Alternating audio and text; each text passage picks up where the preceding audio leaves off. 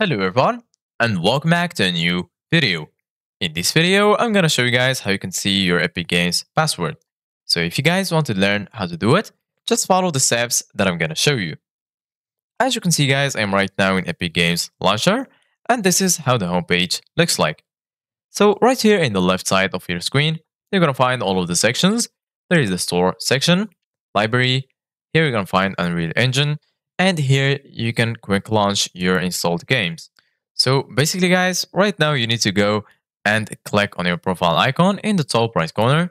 Once you do that right here, you're gonna find your achievements, Epic Rewards, Epic Wallet, coupons, accounts, and so on.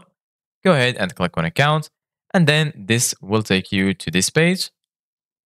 So just wait for this page to load, and then you're gonna be here in your account settings.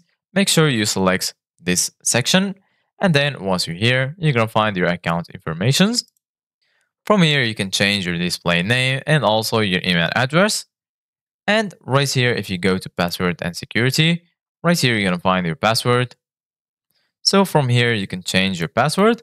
But as you can see, guys, there's no option to actually see your password. So basically, guys, make sure that you remember your uh, password. If you forgot your password, there is a way how you can reset your password. So go ahead and sign out from your account. Then go ahead and sign in again.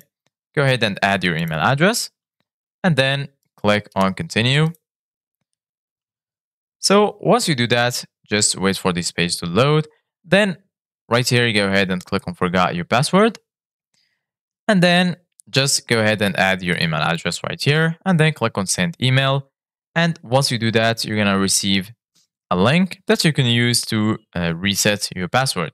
So this is it guys for today's video. Thank you guys for watching. See you guys in the next video.